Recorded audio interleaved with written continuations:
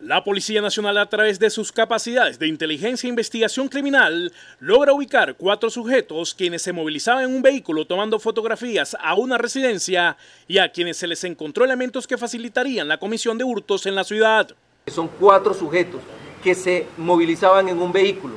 La información oportuna de la ciudadanía nos permite actuar de manera inmediata. Estos cuatro sujetos eh, tenían, entre otros elementos, un inhibidor de señales que cuando el propietario del vehículo iba a autorar su alarma, este inhibidor, impedía que se ejecutara el procedimiento y de esta manera podían ellos robarse el vehículo. También estaban grabando imágenes de residencia y hemos tenido algunos hurtos de residencia. Por eso estamos invitando a la ciudadanía que si conocen a estos sujetos, se generen las denuncias para que puedan sumarse al proceso investigativo contra ellos. 24 antecedentes suma la totalidad de los antecedentes que estos cuatro sujetos tienen quienes eh, son oriundos de Santander, entre otros por hurto, hurto calificado, concierto para delinquir y lesiones personales, entre otros.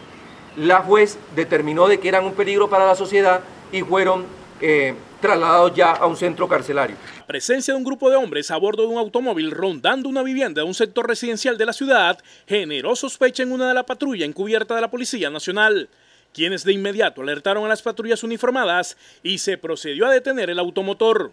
En un vehículo automóvil marca Chevrolet Línea Spar color rojo de placas ABG 025 se movilizaban Hernán Valera Rodríguez de Cúcuta, 56 años de edad, Cristian Orlando Chávez Ordóñez de Bucaramanga, 29 años de edad, y José Andrés Patiño Londoño de Bucaramanga, 36 años de edad. Al realizar el respectivo registro, los policías encuentran un arma de fuego tipo revólver 38L especial con seis cartuchos para la misma, sin documentos, cuatro celulares, un control inhibidor de señal para desbloquear vehículos, un gran número de llaves de seguridad, dinero en efectivo. Al verificar el prontuario de estos sujetos se evidencia que todos tienen antecedentes criminales que suman un total de 24 antecedentes por delitos como hurto, hurto calificado, porte ilegal de armas de fuego, concierto para delinquir, lesiones cometidos en diferentes ciudades.